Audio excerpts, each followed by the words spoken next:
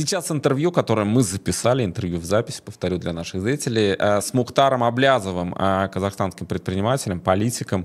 Э, вот что он думает о происходящем. Анна Лесен Григорьева взяла это интервью.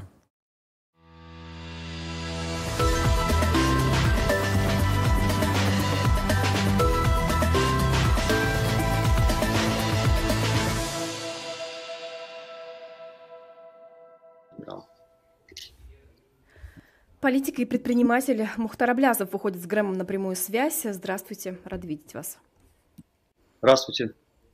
Хотела бы начать интервью с э, возможных эм, ветвей, скажем так, развития событий э, войны в Украине. После Курска и и этой, э, казалось бы, успешной, как кажется, по крайней мере, операции вооруженных сил Украины, которая еще не завершилась, она продолжается, и мы следим за развитием событий. На ваш взгляд, э, что дальше и какие вообще сценарии вы здесь видите и возможны ли они?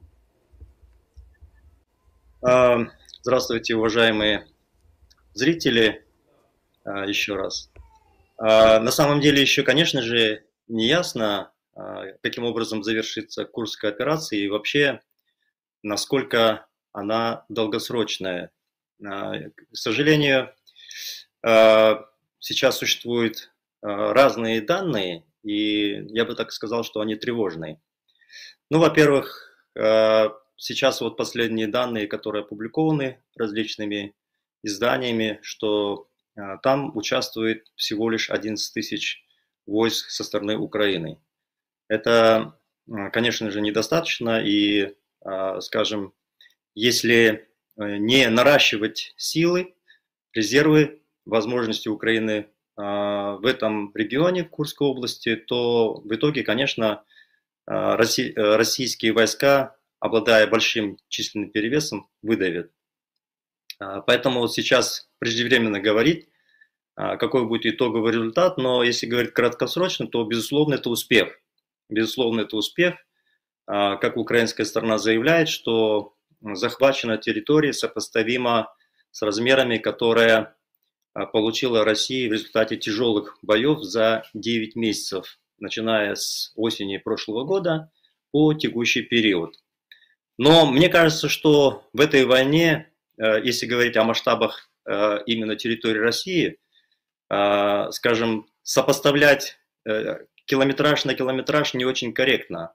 Потому что, э, скажем, когда российские войска шли с тяжелыми боями по территории Украины, они не просто территории получили километраж, они понесли, понесли большие потери в живой силе, в технике, понесли материальный ущерб, в конце концов. Вот, поэтому все это, если что-то считать, что называется, э, огурцы нужно сравнивать с огурцами, помидоры с помидорами, то есть нужно смотреть на ситуацию в комплексе. Пока в комплексе ситуацию нельзя сказать, что украинская сторона нанесла серьезное, скажем, а, поражение или потери, сопоставимые с тем, что Россия понесла за 9 месяцев предыдущей войны. А, поэтому преждевременно говорить. Здесь я на самом деле хотел бы развить тему, ну, собственно, вы спросили, что будет дальше. Вот. Я смотрю очень много аналитиков, как на Западе, так и в Украине, и есть различные российские аналитики, говорят о неких переговорах. То есть, ну и Путин в своем заявлении сказал, когда было наступление а, украинских войск а, в Курской области, что Украина хочет улучшить свою переговорную позицию. Ну, в чем суть? Суть в следующем, что российская сторона а, устами Путина заявляет, что необходимо отдать фактически весь Восток, это ДНР, ЛНР, нынешние административные границы, плюс Запорожская и Херсонской области, э, притом э, те места, которые еще российской стороной не захвачены. По сути дела, речь идет не при остановке войны в текущей, скажем, ситуации, а, а именно уже даже больше, чем то, что Путин смог завоевать. Ну и второе, речь идет о разделе по, скажем, и остановке, при остановке войны по принципу э, Северной и Южной Кореи. Мне кажется, здесь кардинально другая ситуация, а, и не очень будет правильно ориентироваться на пример Северной и Южной Кореи. Дело вот в чем. А, Я уже, в принципе, последние полтора года и на украинских каналах везде выступаю, говорю, говорю следующее, что э, любые попытки договориться с Россией о приостановке войны и, соответственно, отдать какие-то территории, это, по сути дела, для Украины путь в никуда. Не только для Украины, для мирового сообщества. Почему? А, потому что, ну, смотрите, есть а, соглашение между членами ООН о том, что существующие границы стран-членов ООН являются незыблемыми. И все время Украина проводит различные саммиты, где участники этого саммита все время заявляют о том, что признают территориальную целостность Украины. И получается так, что а, агрессор в лице России а, все эти а, соглашения, договора, международные договора, которые стоят выше внутреннего законодательства, все это игнорирует. По сути дела, разрушается мировой порядок. Если перевести на бытовой язык одного государства, допустим, если человек совершил преступление, и кого-то убил, и по законодательству той или иной страны за это полагается 20 лет, 30 лет или пожизненный срок, но при этом э, находится, допустим, один человек, который совершает такого рода преступление, ему за это ничего, просто легкое порицание, э, появляется второй человек, которого тоже не суждают на длительные сроки, не сажают в тюрьму, просто легкое порицание, получается, что в стране законы не работают. А если в стране законы не работают, то государство, по сути, будет разрушено. Вот в данном случае, когда речь идет о переговорах и договоренностях с Россией, приостановить войну, зафиксировать текущую ситуацию по границам, которая сложилась вследствие этой войны, это, по сути, тот самый случай, когда совершенные преступления тем или иным государством не, э, не порицается, не наказывается, создается прецедент, когда государство может, по сути, наплевать на все соглашения, на, собственно, сам принцип и признание э, суверенитета э, тех или иных стран, участников ООН, получается, что тогда мировой порядок разрушается. И, по сути дела, те, кто двигают мирные переговоры, они предлагают создать хаос. Не только между Россией и Украиной, а глобальный мировой хаос. Потому что э, такого рода территориальные претензии э, в мире могут выдвинуть многие государства. Тот же Китай в сторону Тайваня. Э, также мы знаем кучу примеров других. Э, Венесуэла, например, пытается все время завоевать соседнюю страну, э, потому что там нефти много. И э, если страны ООН признают мировой порядок, и все время заявляет об этом принципе, то, то, то государство, которое разрушает этот мировой порядок, должно быть наказано. И вот если возвращаться теперь к России и к Путину, я считаю, что такого рода переговоры, они будут губительны для Украины. Почему? Это, я понимаю, что сейчас война, разрушена инфраструктура, и она длится, эта война, два с половиной года, даже больше. Но что будет на самом деле, после того, как если вдруг стороны договорятся по разделу, скажем, а, или приостановке войны по текущей ситуации и раздел, соответственно, а, Украины на две части, по сути дела. Это значит, что буквально через год, если не раньше, Путин, накопив силы, снова двинет свои войска против Украины. Украина за год ничего не сможет сделать, не восстановиться, не развить экономику, не увеличить свой оборонный потенциал, ничто не успеет сделать. Потому что если Россия в условиях а, мощнейших санкций, которые не имеют аналогов за предыдущие десятилетия, такого вообще примера нет, чтобы так э, страну обложили санкциями.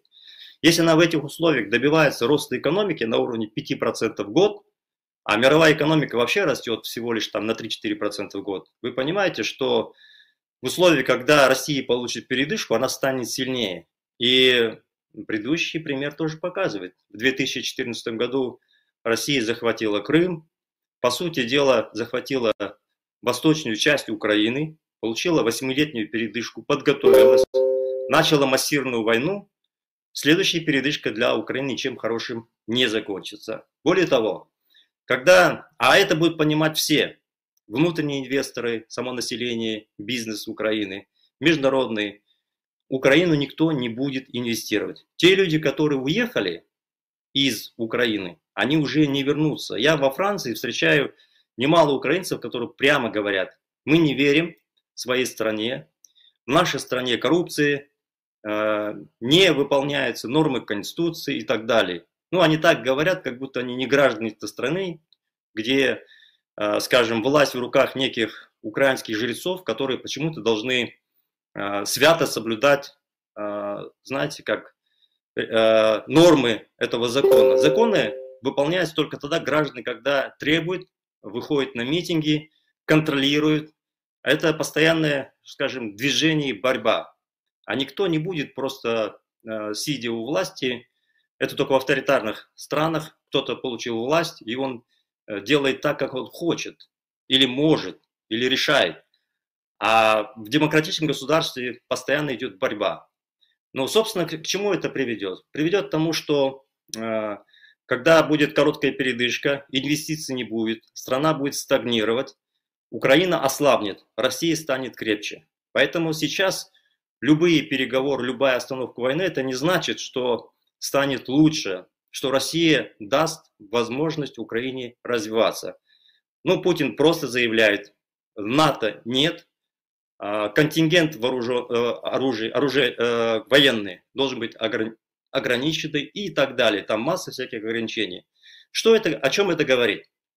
Это говорит о том, что у страны нет суверенитета. А если у страны нет суверенитета, это значит нет независимого государства, нет будущего у Украины, соответственно, и этноса. В любом случае наступит момент, когда, э, если вот проводить такую политику соглашательства, страна будет поглощена. Я хочу напомнить еще раз пример 1939 года, когда такую соглашательскую политику занимали Великобритания и Франция. Гитлер сначала съел Австрию, потом Судетскую область Чехословакии, а потом и всю Чехословакию. Словакию. Потом наступил момент, Гитлер договорился со Сталиным, поделили Польшу, съели Польшу. Это было начало Второй мировой войны. Так называемая соглашательская политика. Украину ждет то же самое.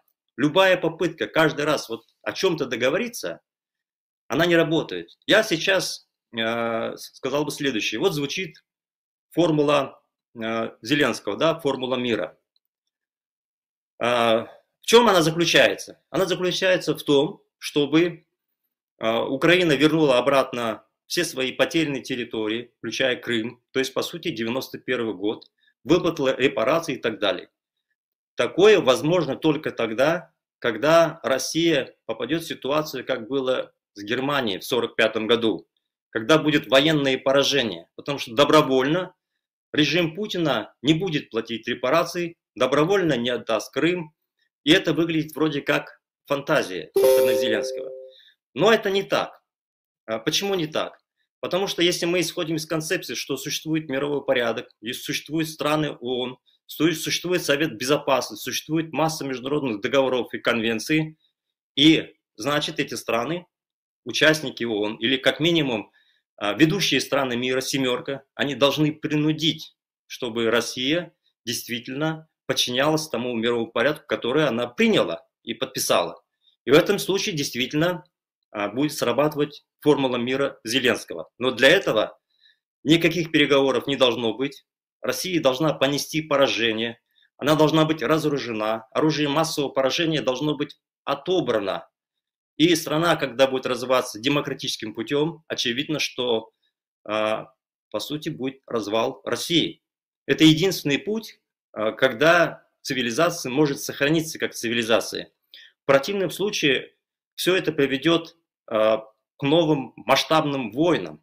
А, поэтому я э, не верю, что какие-то переговоры будут. И последующее развитие событий показало, что ну, не будет никаких переговоров. Посмотрите, в прошлом году западные СМИ все время говорили о неких переговорах. Потом они очень быстро закончились. Это западный мир так устроен, они все время ищут компромиссы. Компромиссы, когда у них выбирает правительство, парламентская борьба, кто-то фракции договаривается с соседними партиями, таким образом выстраивается политическая борьба. И это сейчас же отражается и в международной политике. Западный мир пытается постоянно найти компромисс. С Путиным компромисс найти будет невозможно. Но и он уже только... заявил. Да, прошу прощения, что вас перебила. Не и только ведь западный мир, но ведь и такие, как Алексей Арестович, скажем, э, выступают как раз с этой позиции. Сейчас он поменял свою точку зрения после Курска, но, тем не менее, он как раз говорил вот все то, о чем вы сказали до этого. Знаете, я э, э, ну вот скажу следующее, да, выскажу критические вещи, которые обычно э, эксперты не говорят, но я критически скажу. Э, кто такой Арестович? Они вместе с Марком Фигиным э, года полтора рассказывали неправду, скажу нежно. Они врали, что вот осенью, точнее уже в апреле будем пить кофе в Крыму. В прошлом году это еще было. Они врали все непрерывно. Э, ну, я даже в случае с Казахстаном скажу, когда Токаев, прямой помощник Путина, они говорили нож в спину, кинжал всадил Путина, плюнул ему в лицо. Я возмущался, говорил, прекратите врать. А, Все это закончилось тем, что через какое-то время они разругались, Арестович с Фейгином, и Фейгин начал говорить даже такие слова по Арестовичу, что все, что он говорит, это моча. Извините, они полтора года эту мочу разливали по, всему, по всем каналам, украинским каналам. Вчера я слушал, я на самом деле э, нет-нет, да, смотрю э, эфиры. А Арестович как раз-таки, э, как регулярный человек, меняющий мнение, до этого он говорил, переговоров не будет, потом говорил, переговоры будет, потом давайте мы, Россия, с вами объединимся, сделаем Европу, а потом, а, вы получили свое и так далее. Это человек, мнение которого, как флюгер, меняется 10 раз на дню, если так откровенно говорить, да. А, поэтому его мнение вот для меня, вот как человек, который а, квалифицированно может оценивать и экономику, и политические процессы, скажем, вызывает большие сомнения. Она ничего не стоит. Я вчерашнее его интервью смотрел, где он говорит, нет, теперь а, вот эти события, которые произошли, а, говорят о том, что переговоры будут. А какие могут быть переговоры со страной, с Россией, которая говорит, что вы не будете входить в НАТО, вы будете иметь ограниченный контингент войск, то есть это фактически будет протекторат Путина. О каких переговорах может идти речь со страной, которая говорит, что у вашей страны Украины нет будущего? Понимаете? Вот, поэтому, знаете, а, Арестович это не эксперт, не эксперт, это флюгер. И в экономике не разбирается, извините, он даже такие вещи удивляет, я удивляюсь, как экономист вам говорю, будет фиксированная ставка, 7% годовых мы установим.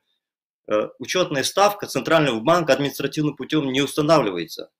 Понимаете? Это вам любой экономист скажет. И когда этот эксперт говорит, что он установит, будучи президентом, став президентом, учетную ставку 7%, вызывает гомерический смех. Это не эксперт. Я впервые вынужден в лоб сказать, что это э, не, не соответствует уровню эксперта ни по каким вопросам принципиально, к сожалению. Ну вот э, что вот, касается что того, о чем делать? вы говорили, да, если говорить, а что делать-то, собственно, Украине, Смотрите, чтобы вот сейчас победить Россию, чтобы Россия потерпела я поражение? Бы, вот на данный момент э, позитивно оценить, что сделано по Курску. Э, что это значит? Э, много сейчас говорится о асимметричных действиях, асимметричной войне.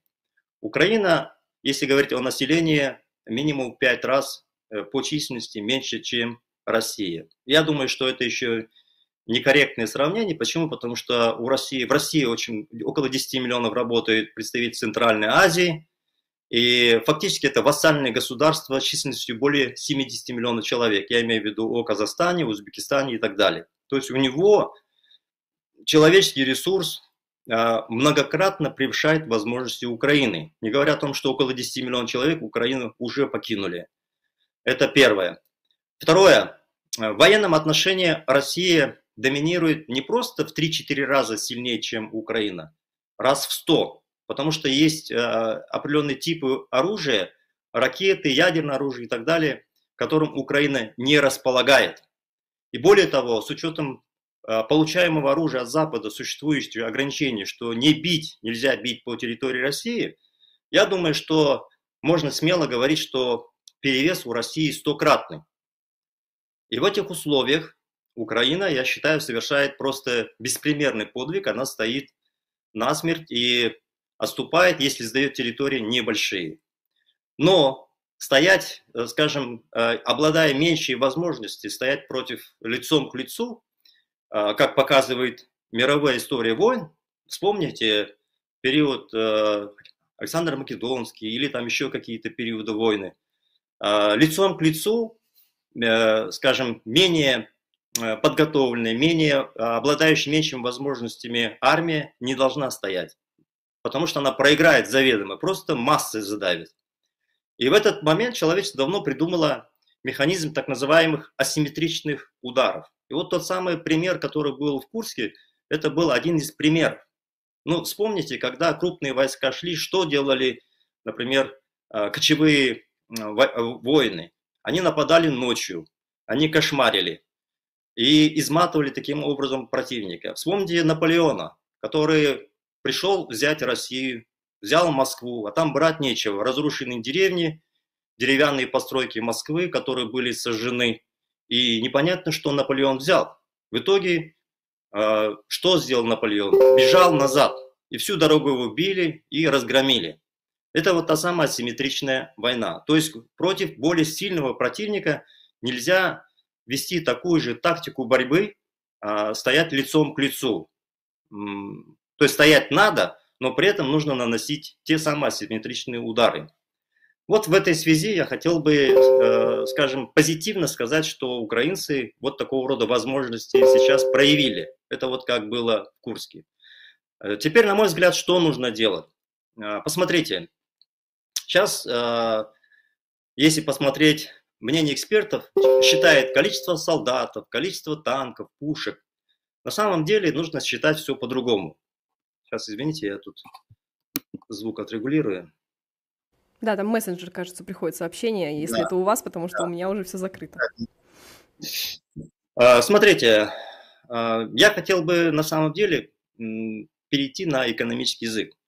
Дело в том, что уже полтора-два года, ну сейчас меньше, я слышал следующие мнения со стороны военных Украины и экспертов, а, которые, когда я выступал и говорил, что вот Казахстан помогает Путину а, поставлять различные товары, которые затем используются в войне против Украины, у меня военные эксперты спрашивали, сколько танков, сколько броневиков. Я говорю, это ошибочный взгляд. Нужно считать деньги.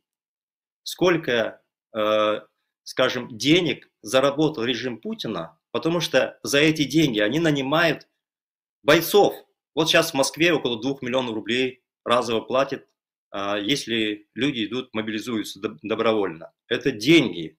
На эти деньги строятся танки, покупаются комплектующие, летают самолеты, снаряды, в конце концов, в Северной Корее и Южной. Поэтому нужно через деньги считать возможности. Россия сейчас финансирует где-то не менее 10 миллиардов долларов в месяц свои военные нужды. Сразу логика подсказывает. Значит, у России нужно отбирать деньги чтобы не было возможности а, нанимать наемников, покупать оружие и так далее. Каким образом? Вот здесь в этом случае асимметрия заключается. Санкции.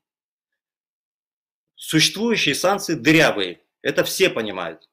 Как это сделать, чтобы этого не было? Нужно просто относиться к ситуации, что называется, на войне как на войне. Вот я сейчас считаю, а, что стороны договариваются, имеется в виду Украина и Россия, э, якобы в Катаре, в Дохе будут переговоры, э, что стороны обещает не расстреливать друг у друга энергетическую инфраструктуру, например, да?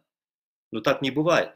На войне как на войне. Что значит э, не расстреливать энергетическую инфраструктуру? В России уже почти 80% энергоинфраструктуры Украины уничтожила, и в этих условиях она говорит, ну все, я типа вас уже свою работу сделал, а теперь вы не стреляете, после того, как Украина начала бить по энергетической инфраструктуре.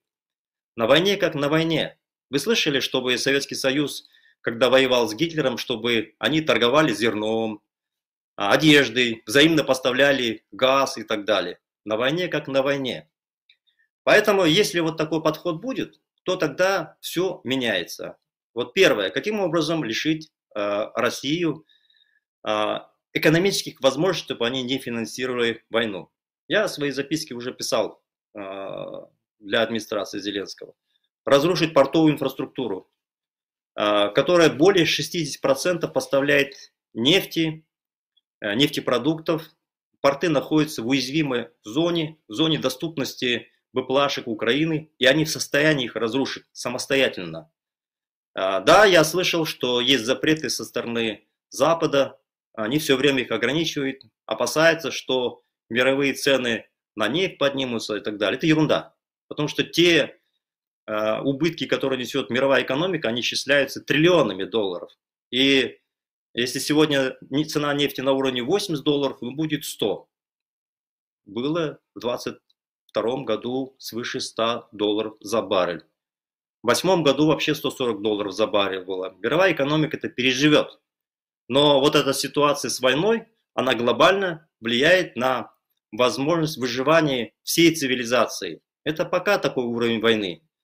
А если эскалация будет, а, скажем, как боится Америка, нарастать, то уровень войны будет совершенно другой. Нужно нанести такой ущерб, чтобы Россия не могла финансирует войну. Вот основные доходы России получает через нефть и нефтепродукты. Вот сейчас, например, до последнего момента Украина бомбила нефтеперерабатывающие заводы. Да, это правильно, это ущерб.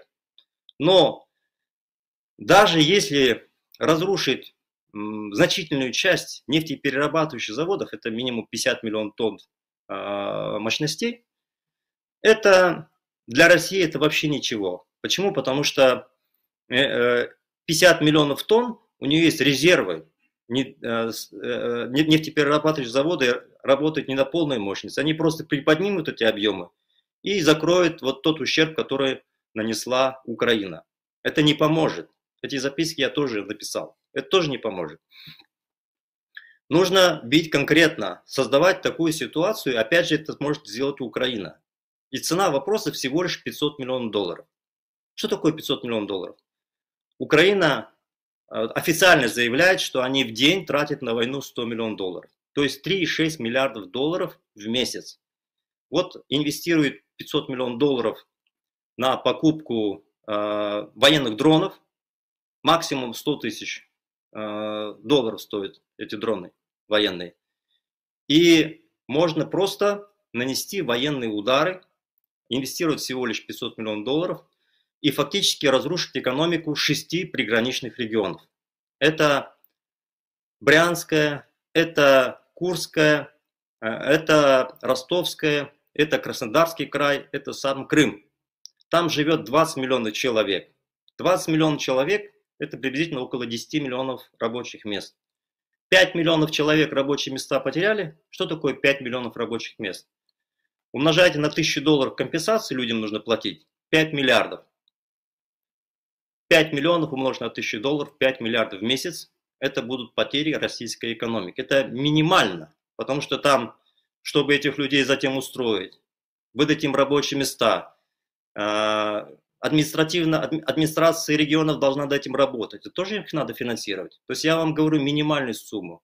Если Россия финансирует войну в месяц на 10 миллиардов, фактически за 3 месяца можно нанести такой убыток, что они потеряют ежемесячно, только вот на этой операции будут терять 5 миллиардов долларов в месяц. Я не говорю, что нужно считать порты или другие какие-то сектора экономики. Вот простой пример.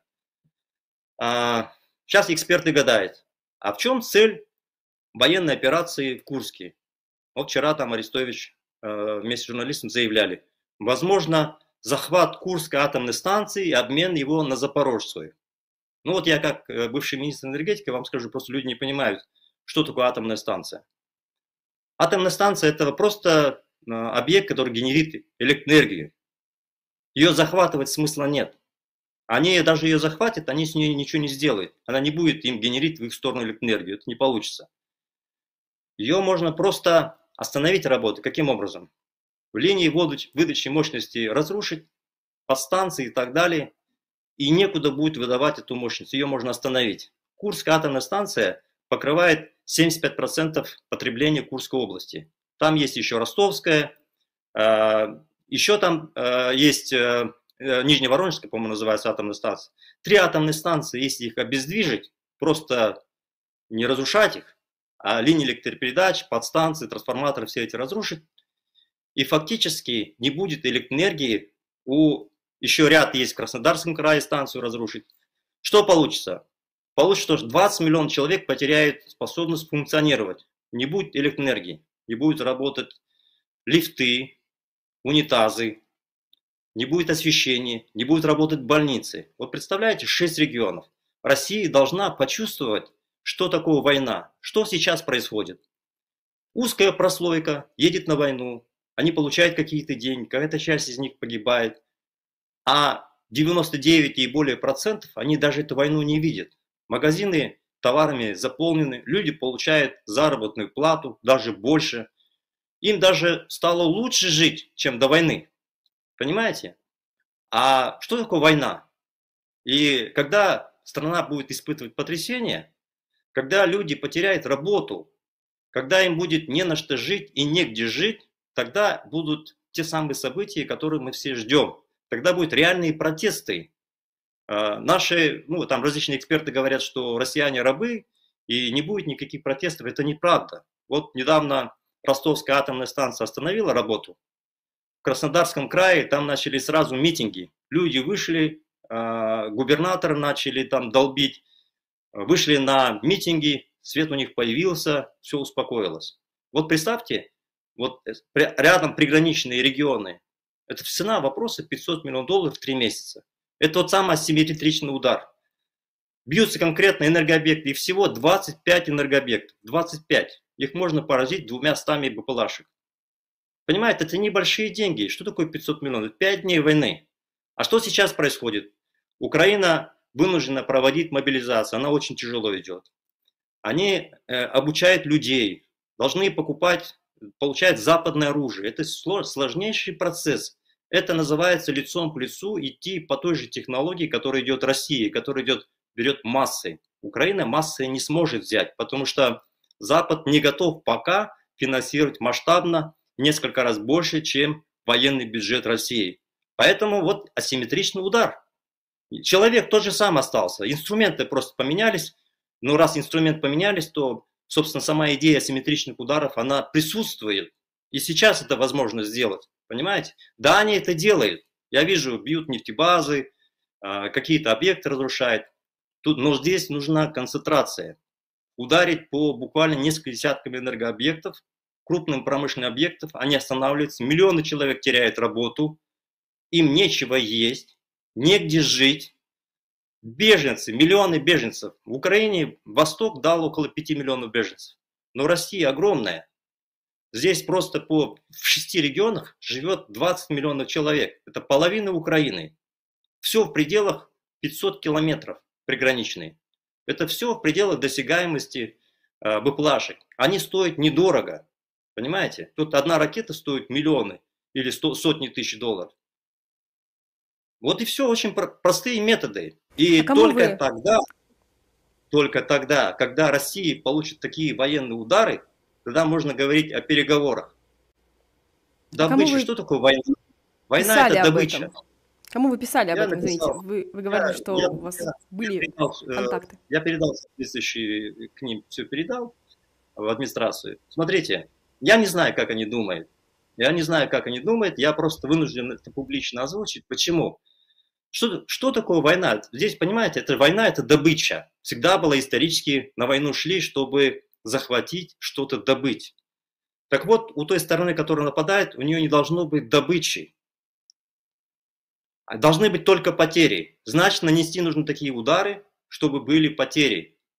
А, не силами живых людей. Есть же современные способы, они уже применяются, но просто они распылены. Я вижу, они локально где-то какие-то удары на, наносят, но тут концентрированный удар, удар по хребту. Это первое. Потом по войне. А, мы сейчас слышим, что Запад не соглашается, Запад не дает разрешения, эскалации и так далее. Они боятся якобы, что Россия завтра возьмется за ядерное оружие и другой уровень войны будет. Но если боятся, то Путин, если будет об этом знать, он каждый раз при любой ситуации будет размахивать этой дубинкой, запугивать и в любой ситуации выигрывать будет. Я приведу простой пример. Вот представьте американское общество. Мы все знаем, что американцы имеют право носить оружие, э, при соответствующей подготовке лицензию берут. Если на твой дом напали, ты имеешь право в рамках самообороны применять оружие, убивать тех, кто нападает на тебя. А вот представьте себе, что в Америке были следующие законы, что нет, у тебя оружие есть, но ты имеешь право стрелять в сантиметр от этого человека. Или организовать легкое ранение, царапину, глубина не больше полусантиметра. Ну, то есть тогда они должны были быть супер снайперами, а, но этого же нет. То есть американцы имеют право применять оружие э, как средство самообороны. А мы видим, что Украина получает оружие, но куча оговорок. По сути, это не дает им возможность применять оружие как положено. Что нужно для этого делать? Ну, мы слышим, что вот американцы такие вот уперт, не соглашаются, но мы же видим, что прогресс идет, что сначала им даже с большим трудом давали э, какие-то простые виды оружия, сейчас уже самолеты пошли, до этого танки не хотели, броневики не хотели давать, идет процесс. Это очевидная вещь, значит, надо провести усиленную работу, убедить своих союзников, убедить, что называется, зачем десятки бригад создавать, мучить людей, когда вот у тебя есть оружие, и его нужно просто союзнику убедить, бросить, э, скажем, значительные силы на то, чтобы э, найти аргументы. Они несложные. Значит, мало этим занимаются. Понимаете? И все. Вот до тех пор, пока э, Путин и этот режим будет, не будет разгромлен, Украины житья не будет. И вот те самые асимметричные удары, они вот сейчас на поверхности на поверхности. Вот, что вот как раз я в этой связи хотел сказать. Вот мечты Арестовича или каких-то других аналитиков.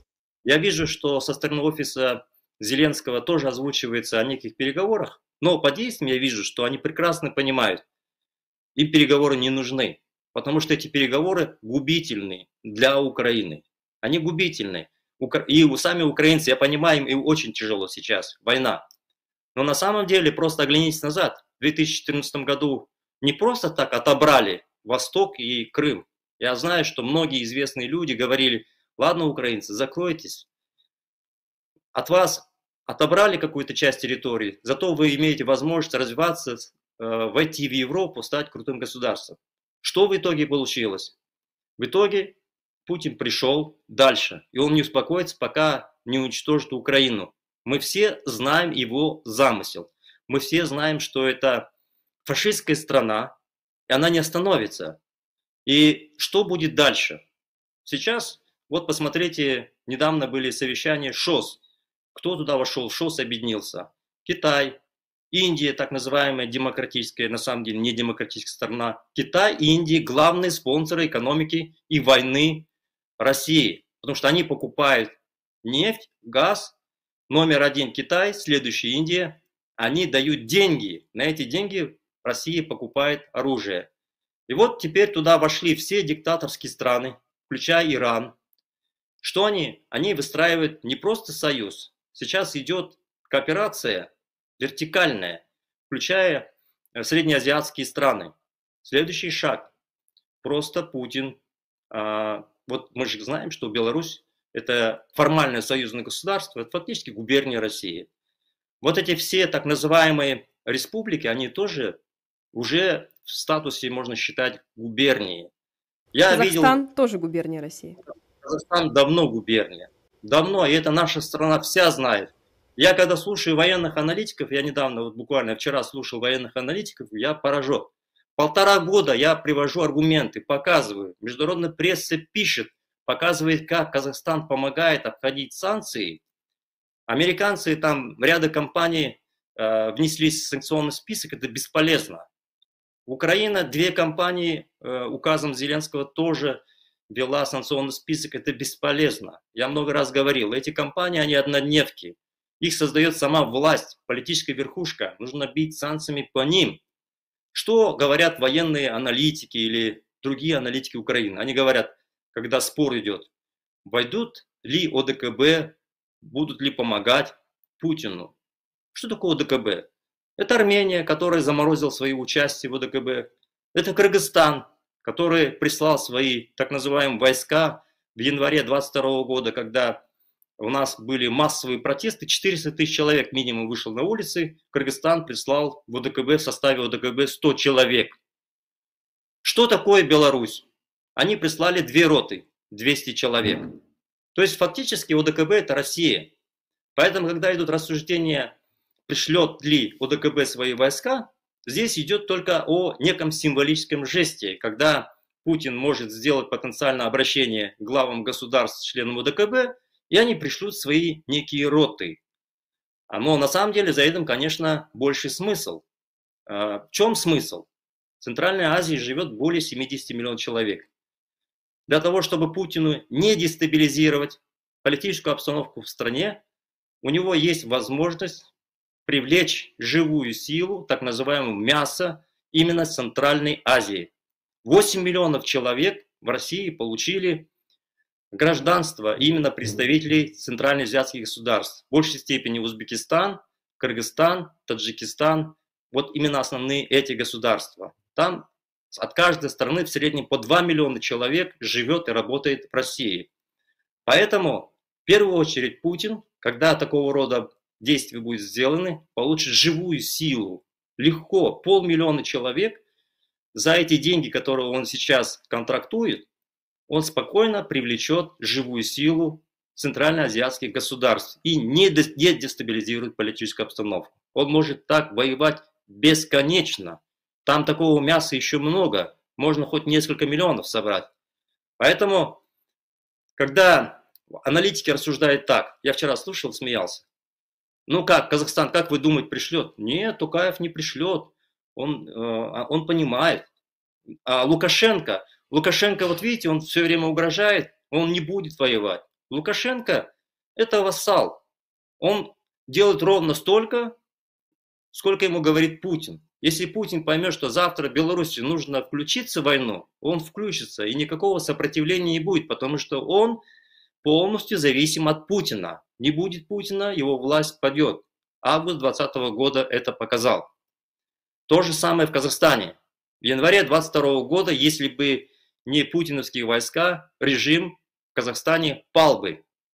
И поэтому говорить о том, что это, это некие независимые государства, изображать, вести с ними переговоры, поздравлять, как Зеленский поздравлял Токаева с Новым годом, вот текущим, или с победой на президентских выборах, диктатора, который расстрелял сотни людей это государство Украина, которое стремится войти в состав европейского сообщества. Он единственный поздравил из демократических государств диктатора, который убивал свой народ. Это говорит о том, что нужно выстраивать нормальные приоритеты, понимаете, нормальных союзников.